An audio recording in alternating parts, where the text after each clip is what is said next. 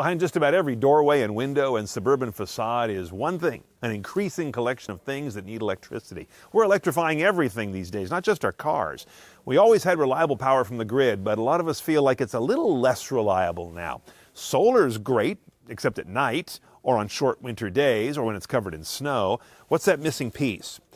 More and more of us are getting comfortable with the idea of putting battery storage into our homes. Notice I said storage and not battery backup. There's a key distinction there that I want to tell you about.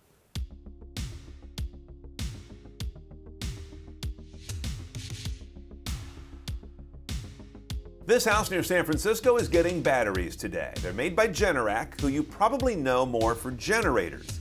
They're being installed by Rob Heckendorn's crew. This particular cabinet will hold up to six of these battery modules. This is a battery module. Right. Okay, this is where the actual storage gets done. Correct. Big This is- this is a battery. battery. Correct. Okay. Correct. Um, and it sits in here. Um, the battery cabinet requires a minimum of three in order to operate. Okay. Uh, it will take a maximum of six. So each one is three kilowatt hours in storage. So you've got anywhere from a nine kilowatt hour storage device to 18 kilowatt hours. You talk about different numbers of batteries they can put in here, different capacity. What do people typically get? When you ask about an average household, there is no average household because you've got single people living in a home versus a family with five kids. Um, obviously, the more people in the home, the larger the home, the more capacity you're going to need. Uh, four module system, which would be 12 kilowatt hours, is probably about the average of what we see. If you've installed solar on your roof, you're probably familiar with how many kilowatts of power it generates in full sun. The relationship between that number and your battery system's kilowatt hours of capacity isn't entirely direct, but it's there. if you upsize the battery too much more than what the roof can support, you've got a battery cabinet that your solar will never fully charge. That's what I'm curious about. So Right. let's, let's say I've got a cabinet much bigger than my solar panel array can mm-hmm. fill. I don't have to just fill this with solar, right? if your solar can't fully charge the system, you can actually change some of the settings in the inverter and it will charge your batteries directly from the grid. This is where home battery strategy gets really interesting, going far beyond the rare usage in a power outage to daily usage doing something called rate arbitrage, storing energy when it's cheap to use it from your batteries later when the grid's expensive. So you pay a normal rate during the course of the day, but the utility company knows that everybody comes home at the end of the day. They go to uh, into the kitchen, they turn on all Turn the on the lights, pool, on the TV, AC, the yeah. AC, everything like that. So the majority of the usage is actually between you know three and eight, four and nine. So depending on your utility company, they actually charge you a higher rate per kilowatt hour of usage during that time. They call it peak time. So most people not being home during the day, their solar system is actually producing more energy than the home needs. So without a battery or energy storage, that goes back to the utility company. And the utility companies are only going to pay you maybe four cents on the dollar. Which is a fraction of what you pay to get grid power. Correct, So it's correct. not a great equation to Right. sell it back. Right, and, and a lot of people, you know, oversize their solar, thinking that oh, I'm going to get a check from the, you know, utility Yeah. company. It doesn't work that way. I haven't seen one on mine yet. Right, no. right. So, but instead of sending that excess electricity back to the grid, have a battery or an energy storage system here, store that here on site, and then later on in the afternoon, uh, say when it's four o'clock, five o'clock, your usage is the highest. And instead of paying that, you know, upwards of 45, 50 cents per kilowatt hour during peak hours, you can pull from your batteries for free. This was my So- free storage I grabbed from the roof. Absolutely. When I didn't need it. Right. That's how you pencil out the earn back on the cost of battery storage. Since the peace of mind you get during a blackout is great, but it's hard to put a value on it.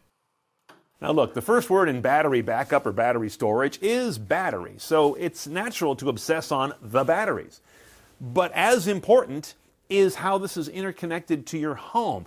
Not as sexy as a bunch of new tech batteries, but has a huge impact on what all of this does for you day to day.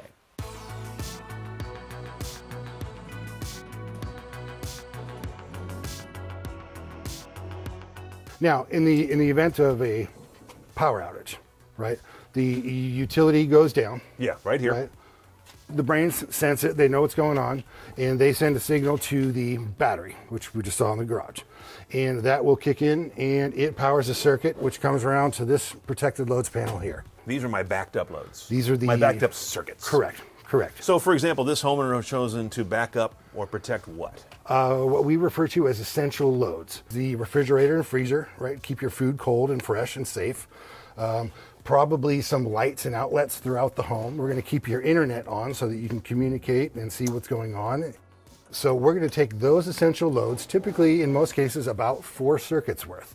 Okay. And those will be relocated out of the main service panel into this protected loads. Okay, now they're tied into this whole system. Correct. Where they can quickly be moved over to battery. Correct. And just to be clear here, this is a home that does not have a generator. This is all being Correct. done with solar, battery, and mm-hmm. interconnect to the grid. Correct. Interesting. If you want to spend the money, you can back up your entire house with batteries. It's just a matter of how much money you want to throw at the problem. And if you have enough solar capacity on your roof to recharge those batteries once they're depleted if the grid is still down. In fact, that's probably half of the systems that we're installing now are actually what they refer to as whole home backups. It sets a priority. So certain certain loads, like uh, like if you had a well pump, uh, or or uh, you know refrigeration and, and things like that, those are more important. So those get a higher priority. Okay, that's Right. interesting. So I'm not having to make an all or nothing decision. Correct. I can say I want these to be on the list, but here's the order of preference. Right. Right. This is all homeowner choice, right? I can come in and say, "Hey, I do want my pool running and forget the lights." If I'm Sure. crazy, you can do it. Absolutely. It, and we can e- even take it a step further with Generac in that we'll be able to uh, connect this soon with their generators. It senses what loads you have on and you want to keep on. If it is a low enough load, it knows that the battery can take care of it. If the load becomes too much that the batteries can't do it, it will turn the batteries off, set them to be charging, turns the generator on. Now you've got all the power you need to run whatever you want in your house, maybe your air conditioners. Later on in the afternoon, evening, don't need the air, condition- air conditioners anymore. It senses that the load has decreased, shuts the generator off, turns the batteries back on.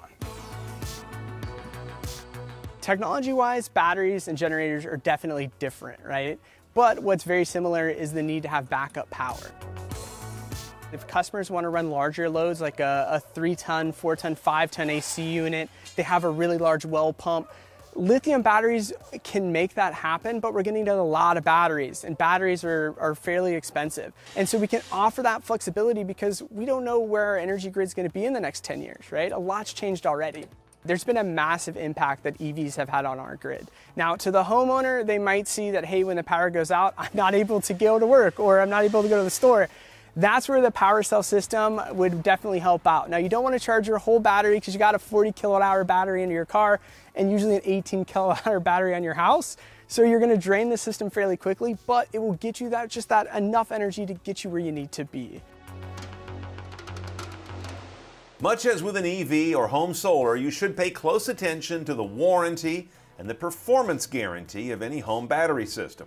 Now, they all seem to have a 10 year warranty, which, by the way, is much shorter than most solar panels, but they also have widely varying performance guarantees. Look, to be sure, installing home battery storage is a bit of a masterclass compared to installing rooftop solar, which is relatively simple compared to this. But if you've already done rooftop solar, you already have most of the skills to understand home battery storage and also the more nuanced, interesting ways you can use it. Another key point to bear in mind is quite recently the Biden administration has kicked off a new era of regulations that will allow a 30% federal tax credit for a new solar installation, a new battery installation, or for both of them. That can be quite an enticement.